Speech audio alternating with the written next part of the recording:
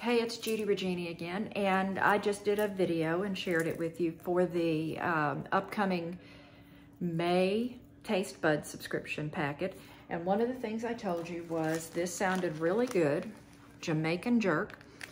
And so what we're gonna do is take their recipe and make it today. Now, this is part one video because what I'm doing, we're expecting a service person to come and do some work, so I can't really get started too much cooking.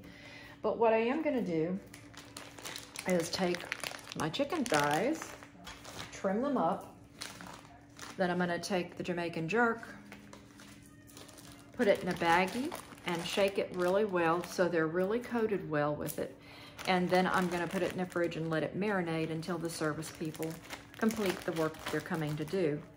What I'll do is another short video showing this to you, uh, the next steps, as soon as we get to the next steps.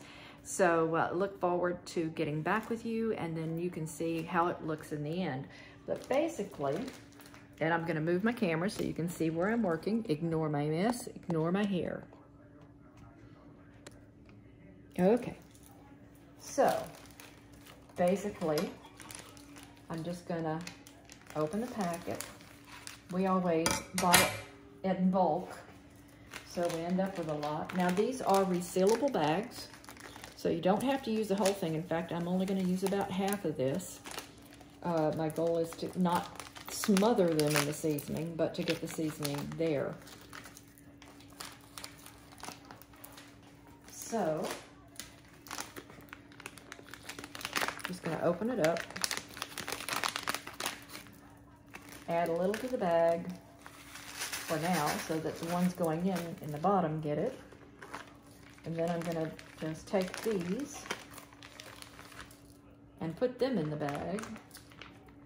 And I will trim them up a little bit, but not a whole lot because they don't seem to need a whole lot. The fat melts away when I cook anyway, so it's not as bad. So that's all four pieces of chicken. It's just the two of us, so we don't cook a lot of food. And now I'm gonna add just a little bit more of this to the baggie.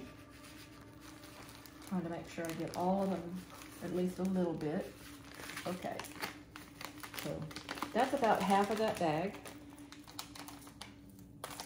So I'm gonna seal it, and that'll go back in my cabinet. And then before I seal this, I'm gonna shake it up real good. So you see that the coating is getting on all of them. And I'll also make sure when I pull them out of the bag that they've all been sitting in it pretty well, but it looks like it's doing a pretty good job. You could even add a smidge of olive oil to this just to give it a little bit more coating for the to stick to, but looks like it did a pretty good job. So uh, from here, it goes in the fridge to sit until we're ready to cook. Won't take that long to cook. These are small pieces of meat.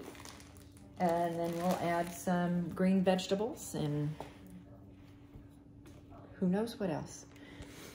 Here you're moving again. So that's it. I hope you enjoyed this video and I'll show you what it looks like when we get done. See you soon.